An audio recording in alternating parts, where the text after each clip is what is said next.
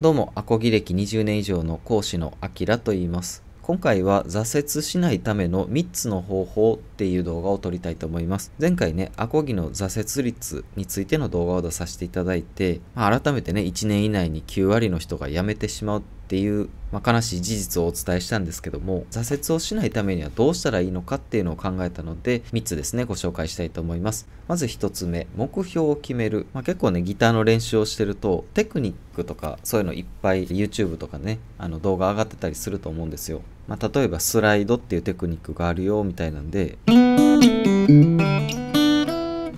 あなんかちょっとかっこいいな真似してみようみたいな感じでコードとかねまだそんなに弾けない状態なのに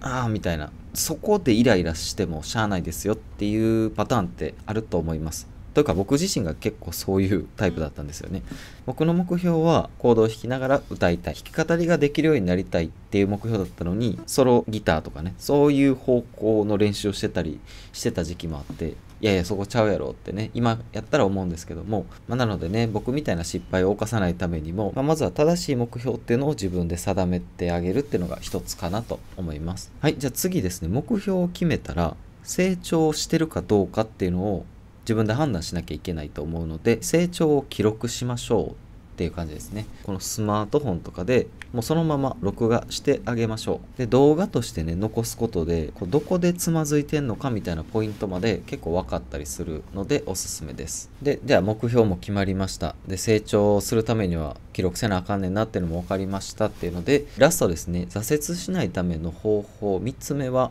コードのバリエーションを増やしましょうっていう話になります。まあ、これはイコールで弾ける曲とかが増えるっていう話にもつながってくるんですが、まあ、コードのバリエーションって何ですかって言ったら分かりやすいのだとカノン進行 CCGAmEmF とかね。この辺ばっかりをやってしまってる場合ってあると思うんですけども、まあ、もちろん最初は覚えるために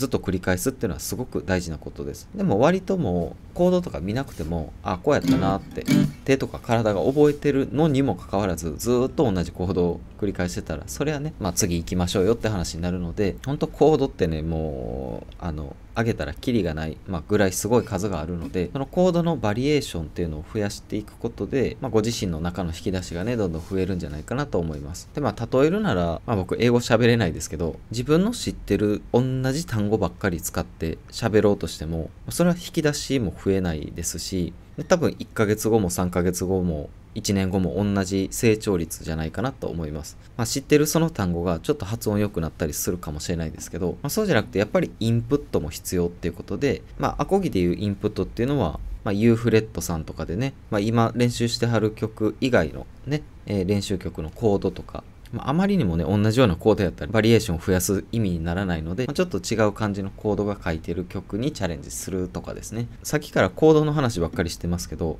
アコギって右手もすごい重要な楽器だったりしますので、まあ、この右手のバリエーションを増やすとかもすごく重要になってきます。コードのバリエーションも増やして、右手の弾き方のバリエーションも増えたってなると、ここまでね、できるようになって、よし、挫折しようってっていうことにはならないと思うので、まあ、ぜひこの弾ける曲が増えてきたなっていう成長を楽しみながらアコギの練習を続けていただきたいなと思っております。で今日の内容良かったなって思っていただければいいねとかあとチャンネル登録もよろしくお願いします。概要欄のところにアコギ初心者の教科書っていう無料のプレゼントをお渡ししてるんですけども、まあ、ぜひ受け取ってください。最後までありがとうございました。あきらでした。